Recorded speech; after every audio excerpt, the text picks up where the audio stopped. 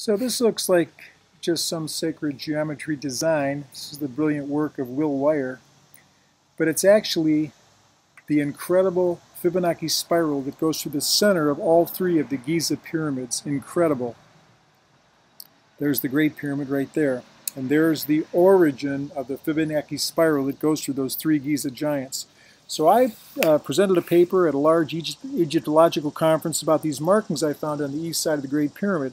And I showed that they point in certain directions. They don't point off like the red. They really mark a pretty straight angle like that blue there. It's not off in an angle like that. I, and I showed that these pointers point to specific places.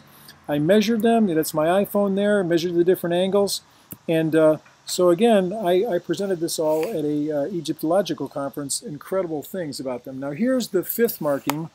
And it looks uh, and it goes, that part of the bottom of this points through the Sphinx and to that Fibonacci origin. Incredible.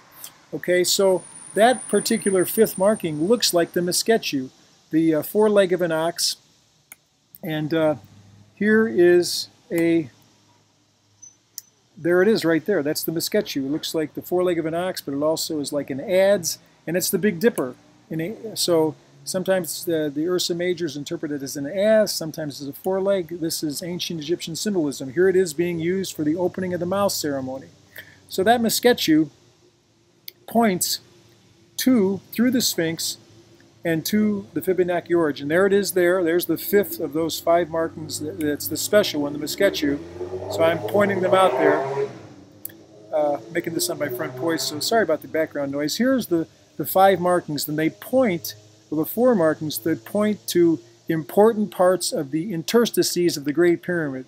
It doesn't point randomly. It points to the beginning of the Grand Gallery. It points to the King's Chamber, the Queen's Chamber. Unbelievable, those four markings.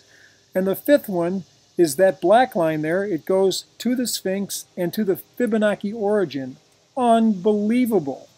Okay, so so really there's a different view of it. You can see the red line there goes through the Sphinx and when I first saw that it went to the Sphinx, I thought, wow, but I said, oh, that's going toward the back of the Sphinx. It doesn't seem like it would point to the back of the Sphinx. Maybe I'll keep going, and I found it goes to the Fibonacci origin. So the Fibonacci origin, there's two witnesses now to the Fibonacci spiral being here. It goes through the center of all three pyramids, but there's a mark on the east side of the Great Pyramid that points to the Fibonacci origin. It's meant to be. Here's a picture Rocky McCollum drew of that spiral. That's where the origin would be there. We've gone there, and I'm going there again. You want to come with me. It's fun, it's magical, it's mystical. Here's the golden cross that's formed through the Sphinx, and it's the phi proportion, length divided by width. Okay, so what's with Fibonacci? Well, the Fibonacci numbers are incredible. The beginning is like a spiral to infinity. So we know that that's incredible. And so it's here on the Giza Plateau, okay? There it is. From where that Mesketu marking is to the Fibonacci origin. Okay, so let's review. There are four east side markers pointing to the major internal passages of the Great Pyramid, and the fifth one points to the origin of the Fibonacci. That's incredible. Come with me to go see it.